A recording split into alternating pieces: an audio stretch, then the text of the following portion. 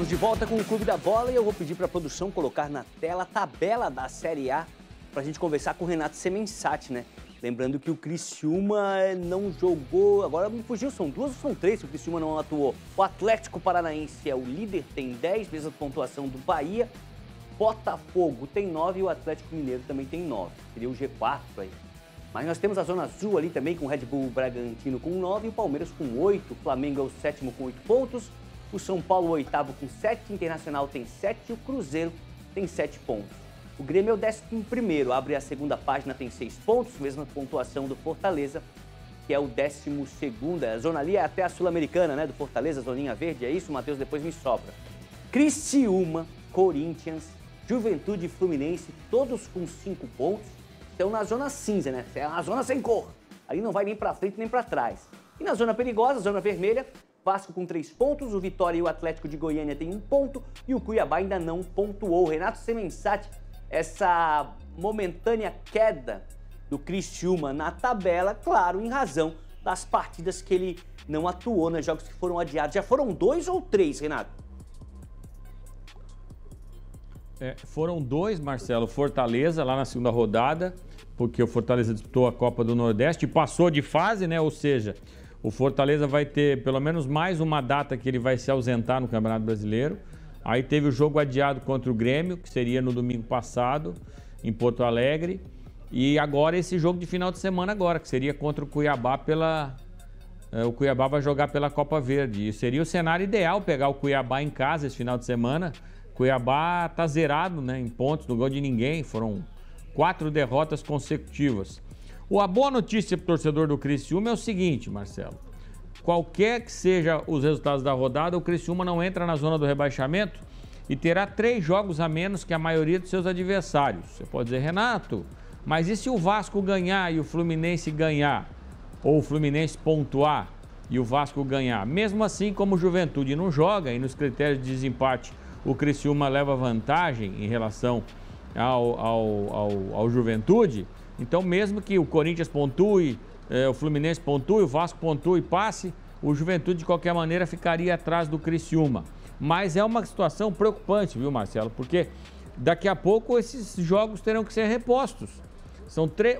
Nós vamos fechar hoje, eh, hoje não, desculpe, amanhã, a sexta rodada do Campeonato Brasileiro da Série A e o Criciúma tem três jogos na tabela. Então é uma situação que ali na frente essa conta vai vir. É claro que o fato de você ficar 20 dias sem jogar, como o Criciúma vai ficar até o dia 19, o último jogo do Criciúma foi contra o Bahia, no mês passado, na Copa do Brasil, e te ajuda porque recuperou jogadores e tudo mais, mas daqui a pouco você vai ter que pagar essa conta. E é claro que o que eu vou falar aqui é uma brincadeira, viu, Marcelo? Mas os torcedores mais otimistas do Tigre estão dizendo o seguinte: olha, cinco pontos, dois jogos atrasados, se o Criciúma tivesse jogado esses dois jogos, tivesse vencido, teria 11, seria líder do campeonato. Mas é claro que é uma brincadeira do torcedor, meu caro. Tá certo, Renato. Chegou mais uma mensagem tá referente ao Havaí, a situação da agressão, né? Não podemos aceitar agressões, mas a diretoria inteira deveria pedir demissão. Tenho 60 anos de idade, sempre acompanhando o Havaí. Nunca vi uma diretoria tão ruim, tão incompetente. A, a opinião, claro, do nosso torcedor, nosso telespectador, melhor dizendo, do bairro João Paulo, Carlos Costa. Camila Costa, que é muito famosa lá. Deve, será que é parente do Fábio, Fábio? Carlos, seu Carlos Costa? Bairro João Paulo, Figueirense, Aparecidense, Figueira 2, Aparecidense 0. Um bom começo do Alvinegro aí na Série C, né, Fábio? Ah, com certeza, né? O Figueirense em três jogos tem sete pontos e ganhou os dois jogos dentro do estádio Orlando Scarpelli. Eu acho que isso é muito importante. O fator casa, né? Ele é preponderante para o Figueirense conquistar a sua classificação. Ah, mas é, o ano passado não aconteceu isso. Ano passado o Figueirense perdeu para o Amazonas, o Figueirense perdeu para o Pouso Alegre. Lembrando que o estadual esse ano o Figueirense foi eliminado em casa para o Bar. Então, dois jogos dentro do estádio. Se o Figueirense, ah, mas não foi brilhante? Não, o caminho é muito longo. Aqui ninguém está dizendo que o Figueirense é o novo Real Madrid, não, ninguém está falando nada disso, mas é um começo realmente muito promissor. Dois jogos, duas vitórias, dois jogos difíceis, complicados, aquele empate lá que o Figueirense poderia ter vencido, aquele golzinho no final. O Figueirense tem sete pontos. No ano passado, nessa mesma situação, tinha quatro. Lembrando que o Figueirense tem 7, precisa de 30 para se classificar para o quadrangular. Mas dito isto, vamos fazer um recorte do jogo. Jogo difícil, jogo muito complicado no primeiro tempo, né? O time do, do Aparecidense com alguns bons jogadores do meio para frente, mas fazendo uma marcação muito forte. Mesmo assim, o Figueirense teve ali chance, acabou desperdiçando. E no segundo tempo, vejam o que é a ironia, né? O que é o futebol? Quando o time visitante se jogou para cima, né, que era para tentar definir o jogo, o Juan, o Juan Renato fez uma grande defesa, aquilo incentivou. Aquilo fez o estádio se levantar e apoiar a equipe. A equipe. E aí o ataque passou a funcionar. O Pato com duas assistências, o Alisson vivendo uma fase sensacional e o Christian Renato fazendo 2 a 0. Mesmo assim, o Figueirense não parou não, né, Mancha? Porque geralmente para, né? Começa a administrar. O Figueirense foi para cima. Poderia ter feito três, poderia ter feito quatro. Eu repito, muita coisa para ajustar.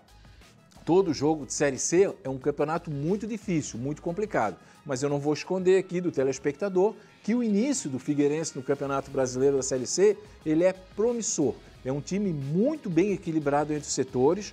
João Bursi sabe o que tem na mão e está trabalhando. E só para fechar, bem rapidinho, Johnny Do, é o Johnny, o Jefinho e o Danilo, que foram contratados para reforçar o time para a Série C, ainda não entraram em campo. Então, é uma boa, é uma boa dor de cabeça que tem o treinador para resolver daqui para frente na sequência da competição. Legal, Fábio. Na Série D, a rodada passada, né? Eram catarinenses contra a Gaúcha, ela foi adiada, vai ser transferida, claro. mas esse final de semana a bola rola sim os catarinenses na quarta divisão nacional. E hoje, a partir das 5h30 da tarde, tem encontro de catarinenses na quarta divisão. Ercílio Luz e Concórdia se enfrentam em jogo válido pela terceira rodada. A partida vai ser no estádio Aníbal Torres Costa, em Tubarão. Caso o Galo do Oeste vença, ele assume a liderança do grupo A8. Já se o Leão do Sul ganhar, chega a 4 pontos, empatando com o Galo. O Barra joga só amanhã. Também pela terceira rodada, o Pescador encara o FC Cascavel no estádio Gigantão das Avenidas, em Itajaí. A bola vai rolar a partir das 4 horas da tarde. A equipe de Balneário Camboriú está na quarta colocação com um ponto e pode assumir a liderança caso vença e tenha uma derrota do Concórdia.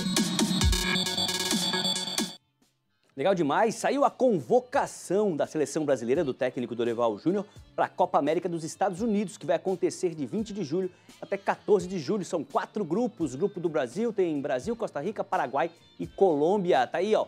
Goleiros: Alisson do Liverpool, o Bento do Atlético Paranaense e também o Ederson do Manchester City. Depois tem os defensores Danilo da Juventus, Ian Couto do Girona, da Espanha, tem o Guilherme Arana, que é do Atlético Mineiro. Botaram a bandeira do Rio Grande do Sul ali, gostei. O Wendel passou ali, o Beraldo do Paris Saint-Germain, o Éder Militão do Real Madrid, Gabriel Magalhães, Arsenal, o Marquinhos do Paris Saint-Germain, zagueiros, né?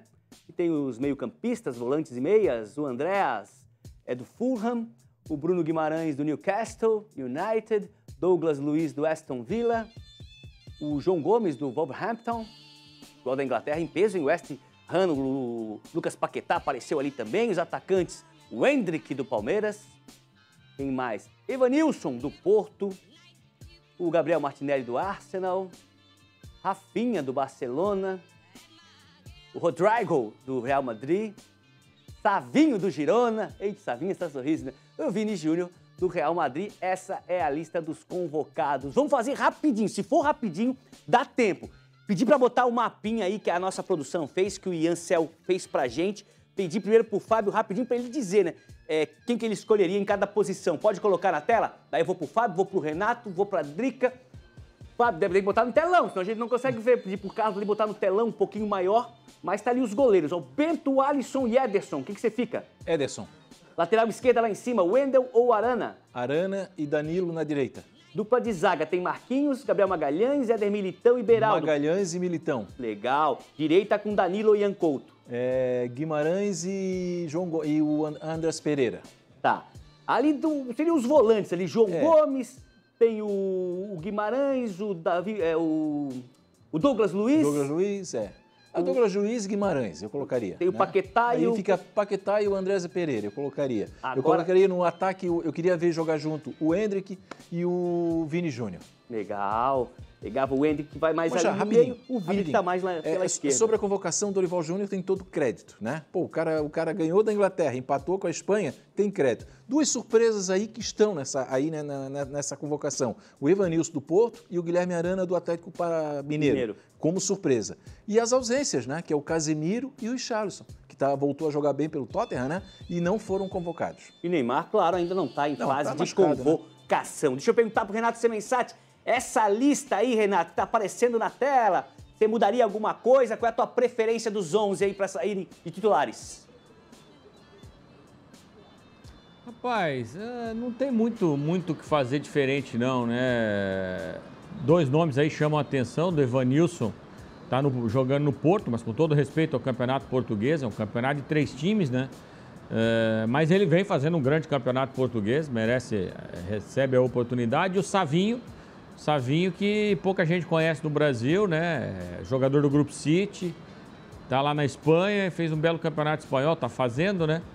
E, e são as- os jogadores que mais chamam a atenção. Mas o que me chama a atenção aí, Marcelo, é que aquele discurso inicial do Dorival Júnior, de chamar jogadores que atuam no Brasil, a seleção com a cara do Brasil, aquela coisa toda que a gente conhece quando muda a comissão técnica, bastou essa convocação para a gente ver que não é bem assim.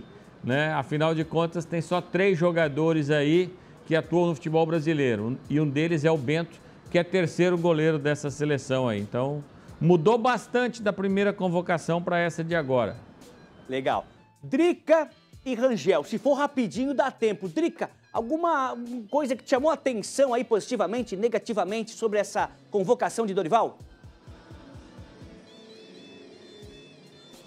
É, acho que positivamente, e talvez surpresa, né, o Arana, mas é um jogador que está jogando muito bem, né, pelo Atlético Mineiro e é um apenas um dos três que atuam no Brasil. E negativamente, eu acho que talvez caberia aí o Casemiro nessa lista. A gente sabe como ele rende no Brasil. Eu vou deixar para passar aí para o Rangel, porque como eu não estou vendo o mapa, não vou montar os meus 11. Na semana que vem a gente, eu trago aqui os meus 11 já anotadinho. Vou deixar para o Rangel passar os 11 dele.